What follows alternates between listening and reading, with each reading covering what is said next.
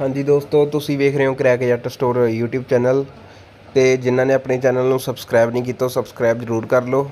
ਤੇ ਅਗਰ ਕਿਸੇ ਨੂੰ ਵੀ ਕੋਈ ਵੀ ਚੇਨ ਸਟੀਅਰਿੰਗ ਜਾਂ ਟਰੈਕਟਰ ਦੀ ਕੋਈ ਵੀ ਮੋਡੀਫਾਈ ਅਸੈਸਰੀ ਚਾਹੀਦੀ ਹੋਵੇ, ਤਾਂ ਉਹ ਆਪਾਂ ਨੂੰ ਆਰਡਰ ਦੇ ਸਕਦੇ ਆ। All over India cash on delivery available ਆ। ਕੋਈ ਵੀ ਆਈਟਮ ਮੰਗਵਾਉਣੀ ਹੋਵੇ, ਆਪਣੇ ਕੋਲੋਂ ਮੰਗਵਾ ਸਕਦੇ ਆ। ਧੰਨਵਾਦ।